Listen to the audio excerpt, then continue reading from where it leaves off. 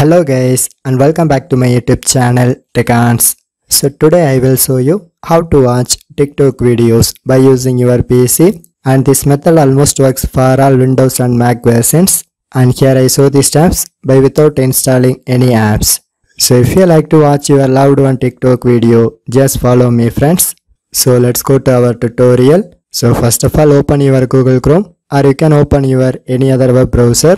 So in this URL section, you can type this official TikTok webpage URL and then click to access it.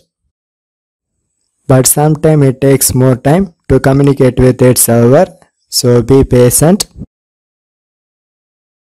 And this is the TikTok official webpage. So here you can press watch link and it is placed at almost top of right side corner.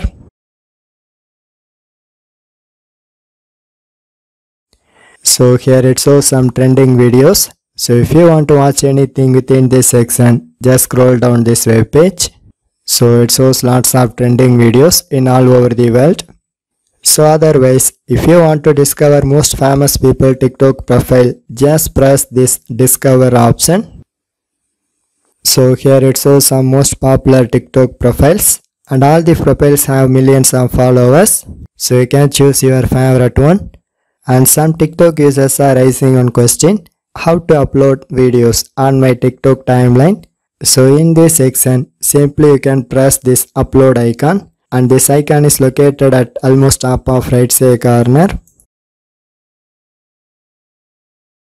But it asks for login process so you can click to login your TikTok account.